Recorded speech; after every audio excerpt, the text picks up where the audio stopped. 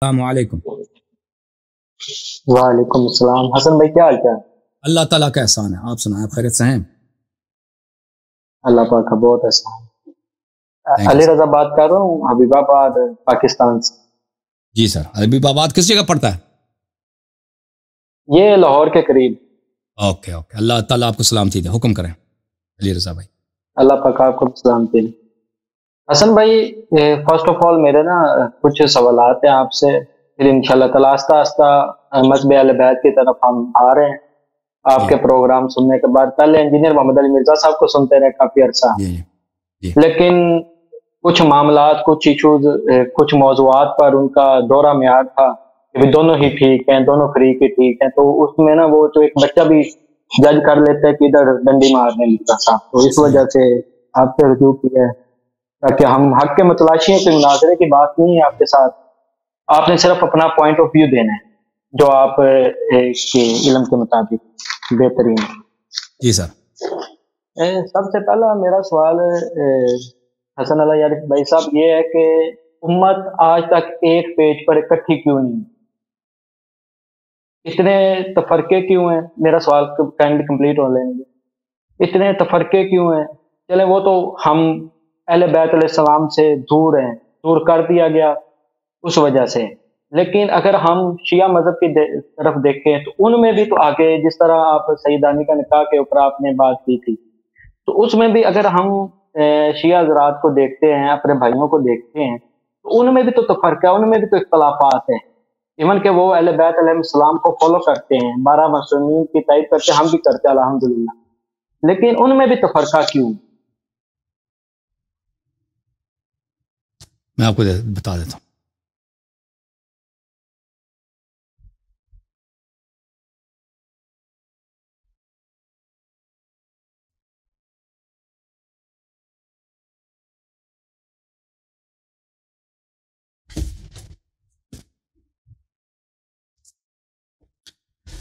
قرآن مجيد فرقان حميد. میرے سورة مباركة البقرة. أعوذ بالله من الشيطان الرجيم.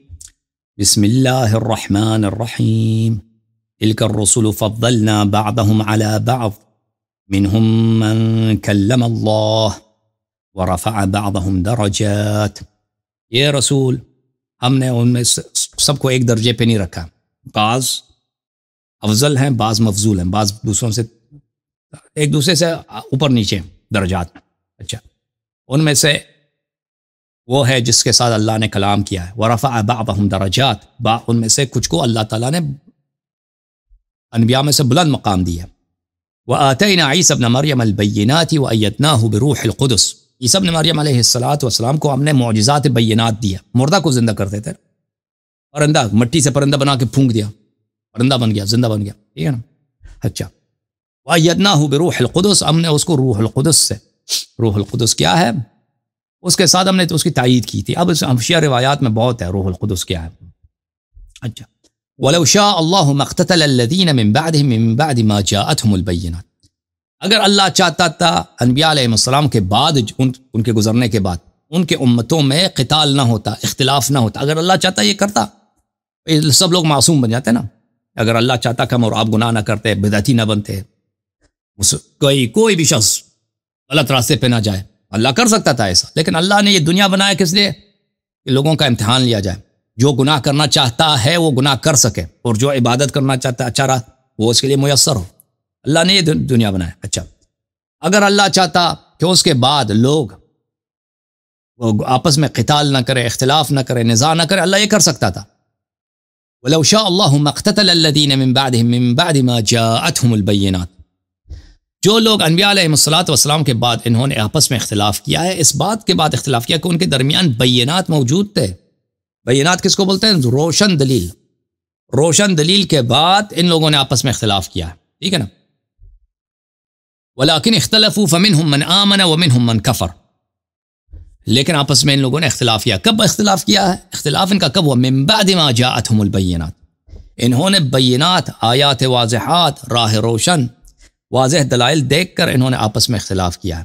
تو جب اختلاف ہوا ہے فمنهم من آمن ومنهم من کفر۔ ان میں سے بعض مومن ہیں، بعض کافر ہیں۔ اچھا حالانکہ یہ سب انبیاء کے پیروکار ہیں۔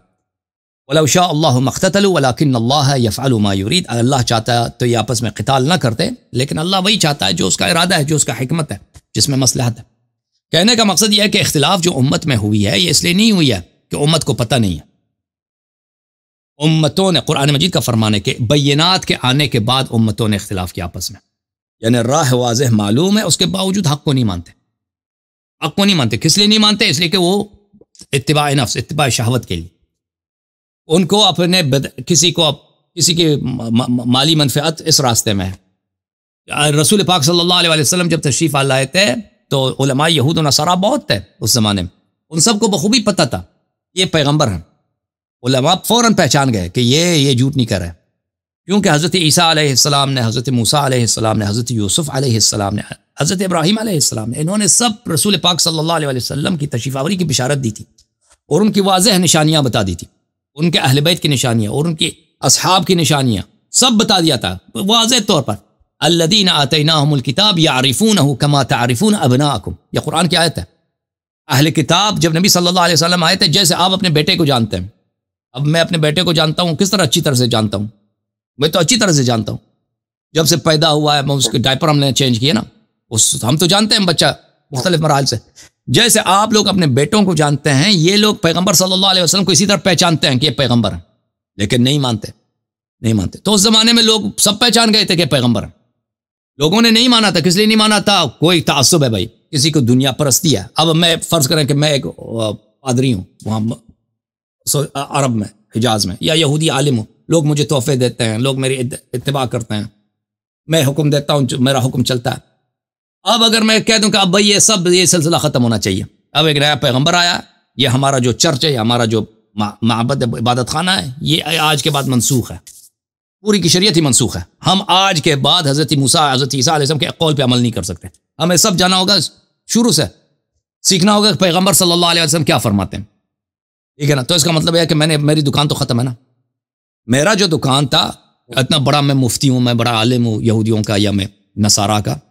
لوگ تحفے لاتے ہیں، میں جس جگہ بہترین لڑکی سے میں شادی کرنا چاہوں شادی کر سکتا ہوں۔ جو میں حکم دیتا ہوں، لوگ مانتے ہیں۔ میرے مجھے زندگی میں محنت کرنے کی ضرورت ابھی جو علماء دین ہے جو بڑے بڑے علماء ہیں، ان کی کیا کتنے پیسے ہیں ان کے پاس؟ وہ لن کروزر پہ لن کروزر پہ ان کی گاڑیوں کی وہ وہ کارمان بنتی ہے بھائی، وہ ایک شہر سے دوسرے شہر جاتے ہیں۔ اس زمانے میں بھی یہی تھا۔ اب انہوں نے اعتراف نہیں کیا۔ انہوں نے نبی صلی اللہ علیہ وسلم سے اختلاف کیا۔ تو نبی صلی... یہ جو انسان ش... کس لیے؟ دنیا پرستی کے لیے یا بعض لوگ تعصب کے لیے۔ قالوا بلے وإذا قيل لهم اتبعوا ما أنزل الله قالوا بل نتبع ما ألفينا عليه آباءنا أولو كان آباءهم لا يعقلون شيئا ولا يهتدون۔ جب ان سو کہا جاتا ہے کہ تم آ جاؤ اتباع کرو ما انزل اللہ قرآن مجید کہ اللہ کے جو پیغمبر آئے ہیں، معجزات کے ساتھ آئے ہیں۔ اس پیغمبر کو تم اچھی طرح سے جانتے ہو۔ یہ جھوٹے نہیں ہیں۔ کہتا ہے نہیں، ہمارا بابا کا دین ہے نا، ہم تو یہ تو نہیں کر سکتے نا۔ تو بعض لوگ تعصب کی وجہ سے ہم اپنے باپ کے دین کو نہیں چھوڑ سکتے۔ اولو کان آبا املا علمون شیء املا اگرچہ ان کے آبا کسی کو ان آبا جاہل سے جاہل ترین لوگ ہوتے تھے۔ کسی کوئی ہدایت کے راستے پہ نہیں نا، وہ آبا ان کے سب بت پراس زناکار، شرابی آدم خور، آدم کش۔ لیکن اسی سے تعصب تھا عربوں کو۔ ہاں، یہ یہ انسان کی جو طبیعت یہ چینج تو نہیں ہوئی ہے۔ نبی صلی اللہ علیہ وسلم کے بعد بھی یہ تعصب لوگوں میں، یا یا دنیا پرستی، یا منفعت پرستی۔ اب اب امت میں کیوں اختلاف ہے؟ امت میں اس لیے اختلاف نہیں ہے کہ مسائل امت کو پتہ نہیں ہے۔ حق بہت واضح ہے۔ حق بہت واضح ہے۔ علماء کے لیے حق بہت واضح ہے۔ بالکل وہ کہ ہاں، نبی صلی اللہ علیہ وسلم کے بعد سچا راستہ، صحیح راستہ کون ہے؟ شیوں کے درمیان بھی جو اختلافات ہیں، اس میں بھی حق واضح ہے۔ سب سب صحیح نہیں ہے۔ ایک سچ پہ، دوسرا باطل پر ہے۔ اس میں بھی حق واضح ہے۔ لیکن جو، جن لوگوں کی منفعت اسی میں ہے نا، کہ سیدا یا ان کے تعصب اسی میں ہے، کہ سیدانی کی نکاح نہ ہو۔ غیر سے حصہ ہے اس کو پرواہ نہیں ہے کہ رسول پاک صلی اللہ علیہ وسلم نے اس کو حلال بنایا۔ پر اللہ کی قسم، ان کو پرواہ نہیں ہے۔ کہ پیغمبر صلی اللہ علیہ وسلم کی دین میں، ان کے شریعت میں اس کے، وہ وہ اپنے مفادات دیکھتے ہیں اپنے تعصبات، اپنے روایات، خاندان میں جو روایت پچھلے جا جو حال سے انہوں نے ہندوؤں وغیرہ سے سیکھا، اسی کو وہ دیکھتے ہیں۔ یا ان کی منفیات ہوتی ہے اسی پری مریدی حرام زادگی میں اگر کوئی پیر بنائے، اس کے لوگ تحفے ہدیہ لاتے ہیں نا، اس کو وہ تو نہیں چھوڑ سکتے جو لوگ پیر بنے تو ان مسائل میں میرے محترم بھائی، یہ یہ یہ اختلافات جو ہیں، اس کی وجہ یہ نہیں ہے کہ لوگوں کو حق کا پتہ نہیں چلتا، حق واضح ہے، لیکن لوگوں کو حق کی پرواہ نہیں ہے۔ اللہ اللہ سے نہیں ڈرتے۔